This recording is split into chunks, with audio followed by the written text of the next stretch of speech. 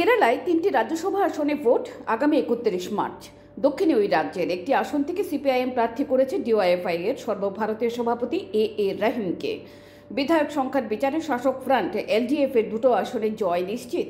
তার মধ্যে একটি আসনে সিপিএম এর প্রার্থী রহিম এবং অন্যটিতে প্রার্থী হচ্ছেন সিপিআই এর কান্নুর জেলা সম্পাদক পি সন্তোষ কুমার। কেরলে রাজ্যসভা তৃতীয় আসনটি বর্ষিয়ান কংগ্রেস নেতা এ কে অ্যান্থনির। তাঁর মেয়াদ ফুরোনোর পরে তৃতীয় আসনের জন্য কংগ্রেস প্রার্থী করেছে সংখ্যালঘু সম্প্রদায়ের জেবি মাথারকে দুই বাম প্রার্থী শনিবারই মনোনয়নপত্র জমা দিয়েছেন। উপস্থিত ছিলেন মুখ্যমন্ত্রী Pinarayi Vijayan pure report, channel Din Raat.